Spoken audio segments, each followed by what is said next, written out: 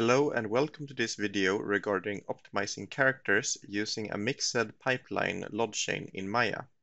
In this video we will use both the quad reducer as well as our ordinary reducer and material baking to create a highly optimized character LOD chain. We will use the same robot characters we used in our previous quad optimization video. Let us try to add three cascaded quad reduction pipelines, where each step reduces the model by 50%. That means our last LOD will only have around 12% of the triangles remaining.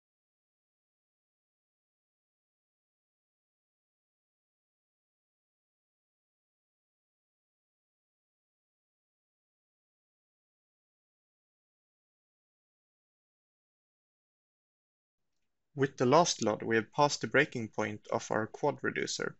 It is hard to optimize the model this much by removing entire quad strips. Hence, we will switch to our ordinary triangle reducer for these LOD steps. Let us replace the quad reduction with our ordinary triangle reducer.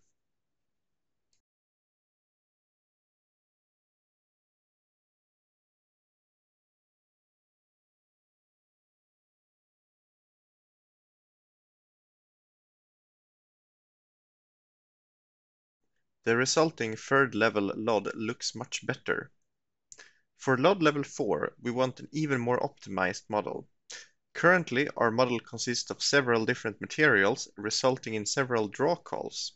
For our last LOD, we're going to bake all of those materials into one using material casting. We add the reduction with material baking and remove all casters from it except color.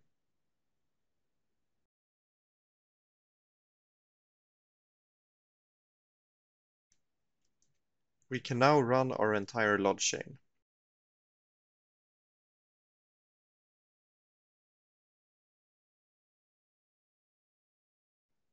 The result is a four-step LOD chain, where our first two LOD levels are creating using our quad reducer. The third using our triangle reducer, and last one is reduced as well as baked. That is all for today. For more tips and tricks regarding game optimization with Simplygon, please subscribe to our channel.